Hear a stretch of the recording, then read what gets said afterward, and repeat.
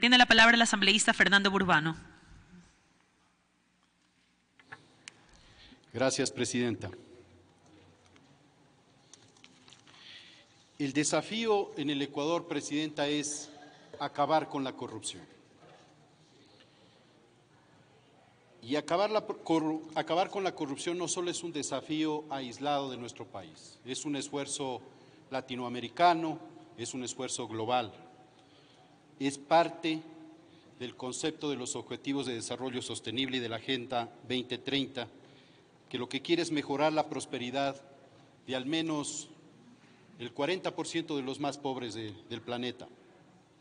A nivel mundial, Presidenta, se paga más de un billón y medio de dólares, un billón y medio de dólares pagado a negocios, individuos y agencias estatales, producto de la corrupción. Es decir, el 2% del Producto Interno Bruto del mundo se destina a la corrupción, a coimas. Y ese 2% equivale a 10 veces la cooperación internacional. Ese es el impacto de la corrupción a nivel global. Los estudios también corroboran que son los pobres los que pagan más por efecto de corrupción. Solo en Paraguay se ha demostrado que los pobres pagan el 13% de sus ingresos por coimas. El 13% de sus ingresos en coimas. Mientras que los ricos pagan el 6.4%. En verdad, cada dólar que se desvía para la corrupción es una oportunidad menos de vida digna para alguna persona.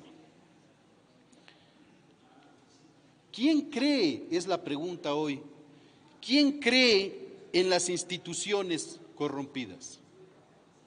Cada vez que hay un indicio de que una institución tiene una mancha de corrupción, los ciudadanos se alejan de la institucionalidad.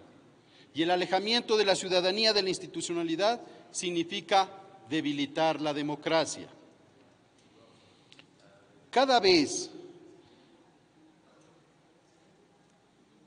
que una institución se corrompe, implica no solo menos accesos a los servicios públicos, sino que implica el incremento de índices como, por ejemplo, la mortalidad infantil por el desvío de grandes cantidades de dinero a obras fundamentales o acciones fundamentales como es la lucha contra el hambre. De hecho, es una de las razones por las que continuamos y avanzamos en la lucha contra el narcotráfico también hoy, la trata de personas y el problema de violencia que tenemos hoy en la frontera norte. Ese es uno de los motivos por luchar porque se implementen estas medidas y estas leyes contra la corrupción. La afectación económica es enorme, pero pensemos ya en las soluciones.